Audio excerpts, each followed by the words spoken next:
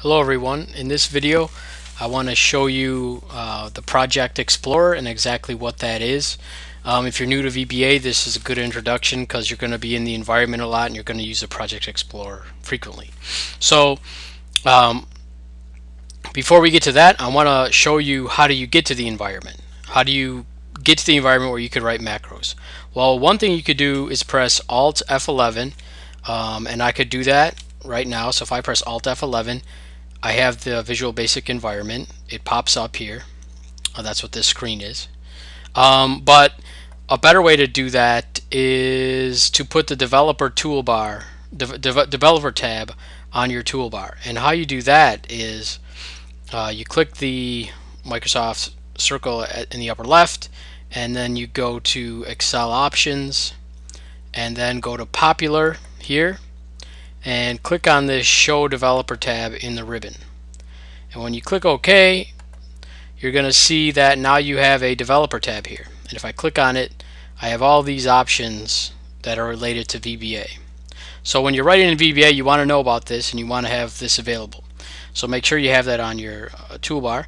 And then all you need to do is go to the tab and to get to the environment, you click this Visual Basic. And you see, like I said, uh, that little pop-up it says Alt F11 you could either press Alt F11 or click this uh, icon here either one. So I'm going to click this icon. And what happens is the Visual Basic editor opens up. And initially when it opens up uh, you, you might see it like this where it has a project window here and it has a properties window here um, and it has a watches window down below. All these windows have a X next to them and you could close them. So I could close that watches window, um, I could close this properties window, and I could close this project explorer window. So now I'm left with just a blank gray screen here in the editor. And I just wanted to show you that because it's, it's customizable. You could add uh, windows to this or take them away. Um, so in this video we're going to cover the Project Explorer and I'm going to start with a blank editor like this and I want to add the Project Explorer so I'm going to click this little icon here. And I could also press Control R. That pop-up says I could do Control R or click this icon. So just remember Control R if you want a shortcut key. So when you press that uh, icon what pops up is this Project Explorer. And what that is is just an it's the window where objects are organized and where you can click on an object. If I click on this object, sheet 1, this window opens up. And this is called the code window, and I'll cover that in another video. Um, but the main thing I want to show in this video is what is this Project Explorer, what are objects, uh, what is this project, VBA project, what is all this stuff about. So the Project Explorer um, has projects in it. So Microsoft Excel uh, e equates every workbook with a project. So you see here I have uh, a workbook called the VBA environment.xlsx and it it made a project here. And then it, it has a little tree structure where you could tree into it. If I click on this, you have objects within that tree, within that within that project, I'm sorry. And those objects are Microsoft Excel objects. And Microsoft Excel objects are what you typically see. They're worksheets. So here's sheet one, here's sheet two, and sheet three, and they're also workbooks. And and they have a object here called this workbook. And all these things are are places where you can write your code, your macro code. Um, when this, why does it say sheet one, sheet two, sheet three in this workbook? Well, by default, when you open a a Microsoft Excel workbook, you automatically get three sheets. And you automatically um, have a workbook open. So that is why you see uh, three sheets here and a workbook. Because by default you have three sheets. Now if you had more than three sheets you would see 10 sheets here or 20 however many sheets you have you're gonna see all the sheets here. And if they're different names you're gonna see the name here. Um, and you're always gonna have one of this workbook and um, that is because you have a workbook open so you could write code here. So what, what do I mean by that? So if you double click on one of these now I'm in the code window so the code window will pop up. And you could write your macros here like sub uh, macro uh, sheet 1 because I'm in the sheet 1 object here. I'm in the sheet 1 object so my macro sub sheet run macro uh, sub macro sheet 1 I'm sorry. And I could write a macro here. And I could do the same thing in sheet 2 um, and I could do the same thing in sheet 3 I could write macros anywhere I want. So these are just places where you can write macros. And I could do the same thing here in this workbook. I could write the same thing, sub this workbook. I'm just doing this pretty quick, but I just want to show you that all these things are, all these objects are, are places where you could double click and write some code. That's it. Now, if you have 20 sheets or 30 sheets or 15 sheets, do you want to be flipping through all those sheets trying to find the macro that you wrote? No, you don't. So what most VBA, what I would say 90%, 95% of VBA developers do is they don't write their code like this, where you have to click on a, an object, a sheet object, and write your code. Instead, what they do is write their code in modules. So let's insert a module and we'll see where that goes. Okay, so now we have a new tree structure. Before we just had Microsoft Excel objects, but now we have these module uh, node in the tree. And the module is the same exact thing. It's just a place. So I'm, I, I double click module one. It's just a place where I could write uh, code. I could write a macro right here. And this is how VBA developers do it. So they use modules, they insert modules, and they write their code in modules. And why do they do that? Well, it's just organizationally way better to write your code in modules because you can, uh, I could rename this module um, and I'll show you how to do that in the video that covers the properties window. So uh, you, you could customize your your uh, project by, by adding modules and then renaming the modules to specifically, let's say I have a module for uh, company macros and then another module for department macros or you could organize your your project that way. That way, it's very explicit. What are what are these macros?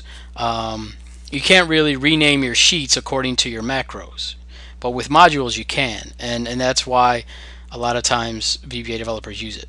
You could also um, in these projects.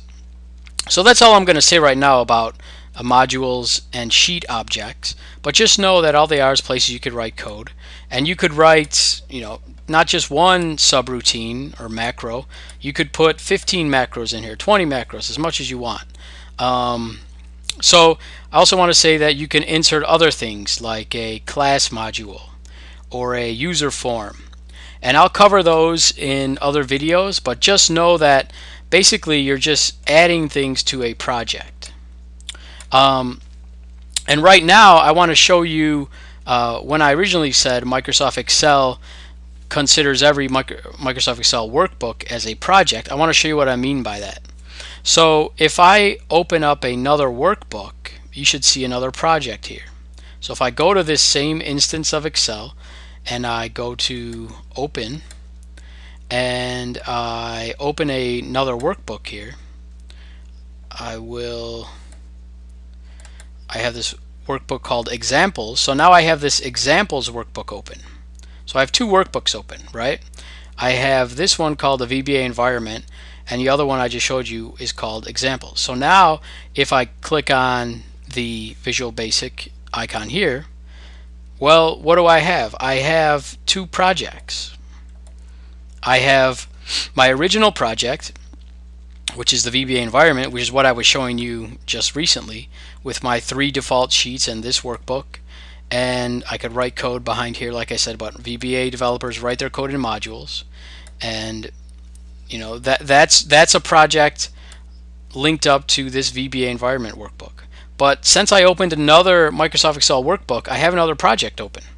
And so when I tree into that look at I have all kinds of uh, sheets here. I have eight sheets and you see that Microsoft Excel listed as sheet 1, sheet 2, sheet 3, sheet 4 up to sheet 8 and these are actually the names of the sheets. So just compare compare this which is a default project sheet 1 is sheet 1 versus like a customized project that you would normally see uh, sheet 1 is actually named L2 loops Um, and then sheet two is actually named L6 find and, and things like that. So uh, I also have forms here. So when I said I could insert I could insert a user form, well that's what I did here.